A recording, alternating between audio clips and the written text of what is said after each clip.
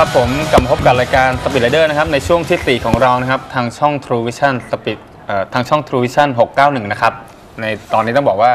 รับสายแล้วก็ SMS เช่นเคยครับผมใครมีปัญหาอะไรก็สอบถามกันมาได้ครับ แล้วก็ขอขอบคุณครับผู้สนับสนุนใจดีครับผม นิตยสารรายเดือน Fast Bike Thailand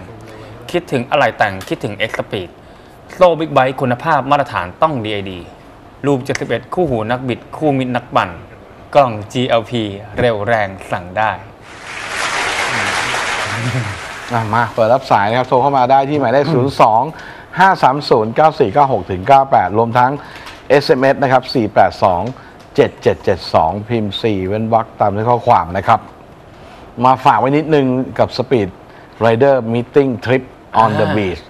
บิดไปเลยของเราวันที่ 1 2 เมษายนนะครับ เดี๋ยวเร็วๆนี้จะมีสปอตออกมาให้เห็นกันว่า กิจกรรมเป็นยังไง ค่าใช้จ่ายมีค่าสมัครเท่าไหร่อะไรยังไงต้องบอกว่างานนี้ ก็เรียกว่าไปขี่รถเล่นพร้อมพี่บอมพี่โบ๊ทพิธีกรในช่องนะครับ แล้วก็ยังมีดารารับเชิญมีแล้วมีแขกมาเซอร์ไพรส์แน่นอนอืมกิจกรรมเรียกว่าขี่รถเล่นไปแบบชิวๆนะมีรถตำรวจนำสบายๆปลอดภัยนะครับ แล้วก็ไปท่องเที่ยวที่บางสะพานบ้านกรูดนะครับ ไป มีจริงๆแล้วจะมี CSR ด้วยนะมีไปมอบเสื้อสะท้อนแสงให้กับตำรวจที่บางสะพานด้วยนะครับ แล้วก็ร่วมกิจกรรมกัน แล้วก็มี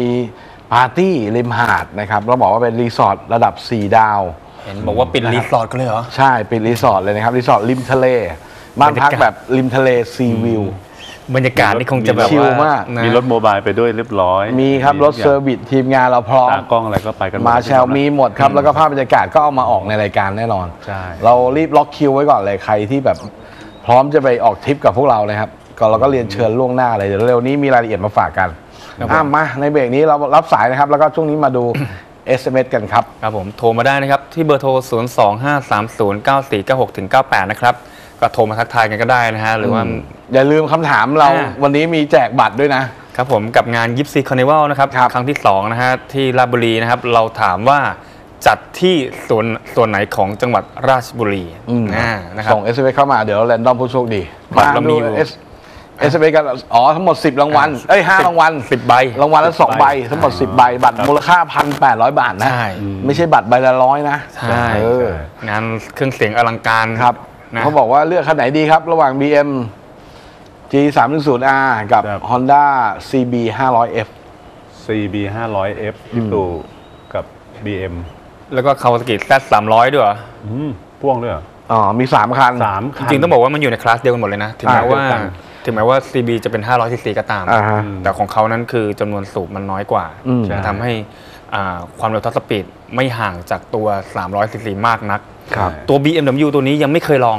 ต้องขออภัยจริงๆแต่รถว่ายังใหม่อยู่ยังไม่ถึงมือสื่อเลยจะรถไม่ถึงรถยังไม่ถึงมือผู้ใช้ด้วยผู้ใช้ก็ยังไม่มีคนใครซื้ได้อยังไม่ได้ซื้อเลยคนที่จองไว้ยังไม่ได้รถเลย ใช่เออเป็นนักเก็ตของ BMW นะครับที่บอกว่า น่าสนใจทีเดียวครัคับนนี้อใช่อปชันที่ให้มานี่ครบ ๆ เลยนะอืมถึงจะเป็น300ซีซีแต่ดูไว้ก่อนชกหน้าอัพไซด์ดาวนะ ใช่ แล้วก็เป็นซีซีจะงอกมาด้วยมั้ยพี่บอมงอกสามหน่อยสามร้อยกว่านะสามร้อยสามร้อยสิบสองสามร้อยสิบสองครับพี่บอมสามสามร้ร้ออยยสิสิบบสสอองงครับแล้วก็เป็นรถที่น่าขี่คันหนึ่งทีเดียวสำหรับราคาที่แบบว่าไม่ได้แรงด้วยนะราคาจำได้ไหมพี่ตู่ราคาอยู่ที่ประมาณ 2 กว่าอ่าๆจำไม่ได้จริงๆขออภัยราคามันไม่มาเทียบกัน 3 คันถ้าต้องเลือกถ้าคือตอนนี้เป็นผมอะผมอยากรอ BM ก่อน ใช่ เพราะว่า BM เนี่ยมันเป็นรถที่แบบอยู่ในกระแสแล้วก็ทุกคนให้ความสนใจ ทุกคนรอคอยมากใช่นะครับถ้าสองตัวที่ที่เหลือก็คือตัว CB CB 500กับ Z แค่300สามร้อย คือสองคันนี้มันก็ออกมานานแล้ว อืม ใช่ไหมแล้วเป็นรถญี่ปุ่น ใช่ เนาะคือขอขอแบบว่าให้ขี่ BM ออกแต่มาสามดีกร้อว่ยซีซีแต่ขอขี่ BM ได้ไหม คือเรื่องของเรื่องเนี่ย BM เนี่ยออกมาด้วยรูปทรงที่แตกต่างจากชาวบ้านเขาเลย ครับ มันจึงมีอะไรที่น่าค้นหาคือถ้าแบบจะเห็นพะ ถ้าจะเห็นแบบแค่สเปค แล้วก็ภาพลักษณ์ภายนอกนะ ใจผมไป BM อยู่แล้ว อืม เพราะมันความใหม่แล้วก็ดีไซน์เขาแน่นอนจริงๆสวยนะ ไปดูตัวจริงมาสวยอืนะมสวย สวย แล้วรถแบบไซส์มันกำลังดีไม่ได้เล็กไม่ได้เพลียจนเกินไปใช่ ผมว่าดูมีอะไร แต่ว่าสเปคตามสเปคข้อมูลที่ได้มาก็สมรรถนะก็ไม่ธรรมดา option ที่ให้ก็เยอะพอสมควร ก็ขอขอ test ก่อน เพราะว่าอ่าอะไรนะ ดีเหมือนรูปหรือเปล่า อืม อ่าใช่ไหมตัวจริงอันนี้เรา ขี่แล้วเป็นยังไง เดี๋ยวขอเวลานิดนึงเราไม่เข้าข้างตอนนี้เขายังอยู่แล้ว ไม่มีรถให้ทดสอบแล้วเดี๋ยวจะมาฟันธงให้ได้รู้เดี๋ยวทั่วหน้ากันนะครับ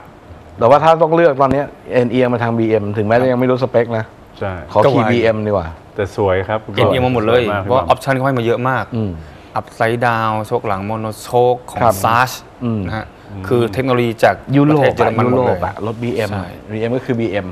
ครับ นะอะเดี๋ยวมาว่ากัน เอ้า แฟนคลับพี่บอมมาครับฮาร์เลย์ของพี่บอมใช้รุ่นอะไรครับ อ๋อพี่บอลที่ขี่ตอนนี้ที่ขี่บ่อยๆที่สุดก็คือใช้สปอร์เตอร์สปอร์เตอสร์ปอร์เตอร์72ครับ เครื่องพันสองขี่อยู่มันขี่ในเมืองมันพริ้วดีอะรถมันเบา แต่ถ้าเดินทางไกลก็มียังมีตัวอื่นอีก เพราะว่ามีหลายคัน มี Dyna มี Street Glide โอ้แต่ว่าจริงๆเราไม่ค่อยชอบไม่ชอบรถ touring นะครับแต่ส่วนใหญ่แล้วคนที่ขี่เขาต้องบอกว่าที่สุดของฮาร์เลย์มันต้องเป็นแบบ touring ต้องใหญ่ ๆ มีหน้ากากแต่ส่วนตัวไม่ชอบครับ ผมว่ามันเทอะทะนะ แล้วก็ชอบรถที่มันขี่เล็กๆแล้วพริ้วๆอะเนี่ยนะถ้าถ้าเกิดเดินทางไกลหน่อยก็เป็น Dyna เพราะ Sportster ถังเล็กเติมมันบ่อยแวะทุกปั๊มไม่ไหวเหมือนกัน แต่ขี่ในเมืองนี่เหมาะมากอืมนะครับ สวย